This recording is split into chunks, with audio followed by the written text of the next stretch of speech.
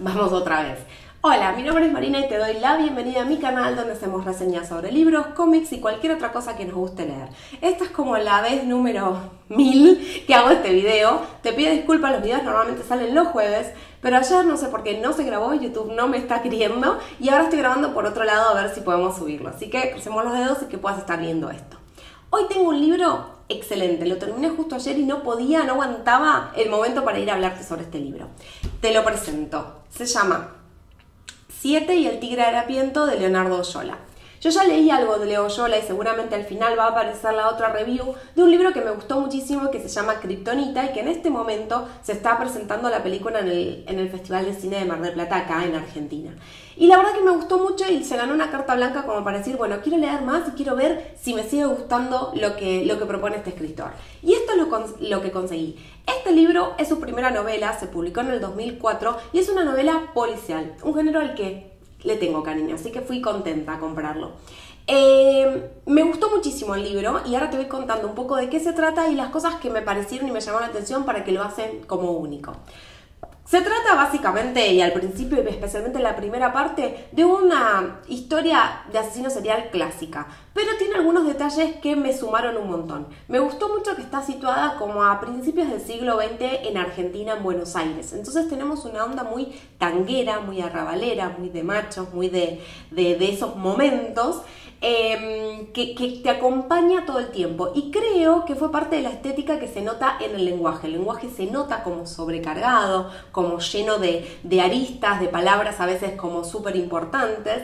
Y em, eso, eso, ese marco que te acompaña me gusta muchísimo.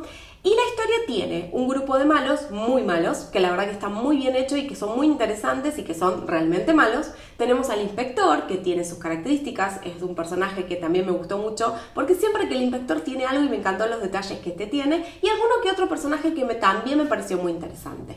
La primera parte del libro, como te dije, va tranquilo y va como un asesino serial, el asesino serial que están tratando de ver quién es y están viendo si esta banda de malos, el la gran, me gusta la asociación donde la banda se llama como la orquesta del Tigre Harapiento, que es el, como el director de la orquesta. Em, entonces están viendo si, si es esta, estos maleantes los que fueron. Y después la segunda mitad del libro, ahí vienen como las sorpresas increíblemente buenas que descubrí, donde cae, cambia todo. Y todo lo que creías y el que pensabas que iba a ser y cómo iba a terminar el libro, no termina así, para nada. Y ahí entra un gran tema que es la traición. Y todos los que creemos que eran no son lo que parecen. Y se hace todo mucho más acelerado. ¿Por qué? Porque se sigue muriendo gente, ya queda cada vez menos, y estás con ese interés de saber quién fue y por qué está matando a todos los que está matando. Así que recontra recomendado. A mí me hizo acordar mucho más, no cosas que leí, sino a cosas que vi. Me hizo acordar a True Detective por la cantidad de sangre, por cómo estaban presentadas las víctimas. Así que me pareció muy interesante ver esto leído y no en, una pantalla. Y, y me gustó muchísimo. Te voy a leer un poquito para que tengas una idea de lo que puedes esperar cuando lo veas. Tan, déjame ver dónde tengo marcado. Un hombre como él podría tener una mujer mucho mejor. ¿Y qué es una mujer mucho mejor? Quiso saber casi ofendido el inspector. No sé, alguien de su clase social, creo. Sepa, sargento, que Levón en su infancia fue muy pobre, y eso marca. Uno jamás se olvida de dónde viene. No importa lo que se hacienda, es un compromiso que se hace con uno mismo, y no por eso se celebra la miseria vivida. El tigre harapiento no quería una mujer mucho mejor, buscaba una buena mujer, que no es lo mismo, y buenas mujeres se encuentran, ironía del destino, en la abundancia de la pobreza, y muy pocas en el círculo en el que usted lo delimita. Lebón es muy inteligente, también nostálgico. Ya veo, no era entonces un metejón. Para Lebón, Lady Lanuit era un sueño, ahora solo un retazo del amor que supo abanderar. Los dos hombres se quedaron en silencio. Estaba oscuro. El ardiente colorado del extremo del cigarrillo consumiéndose era la única luz encendida ahí en el exterior, hasta que un relámpago hizo que fuera de día durante un segundo. Después, un trueno manso y largo se hizo sentir. Lindo, ¿no? Como arrabalero, como épico. Me gustó porque es como, como épico. Eh, bueno, así que contame, esto es todo. Gracias por estar del otro lado.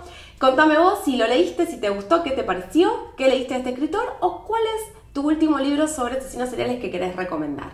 Y para cerrar, algunos avisos parroquiales. Primero, estamos de festejo, ya somos 100 subscribers. Segundo, si conoces a alguien que le interese, que se suscriba. Vamos, vamos, queremos más gente. Me encanta charlar con ustedes. Y para que sepan, más o menos entre lunes o martes vamos a tener el video polémica. Y la idea de ese video es charlar. Es como si fuera que nos juntáramos en un bar a tomar algo y charláramos de cosas relativas sobre literatura. Y todos los jueves, sí, todos los jueves hacemos una reseña sobre algún libro. El jueves que viene, como estamos en festejo de 100 subscribers, vamos a hacer algo con un título que se llama 100. 100. Ti, a ver si imaginan qué se viene. Bueno, nos vemos el jueves que viene. Muchas gracias y hasta luego.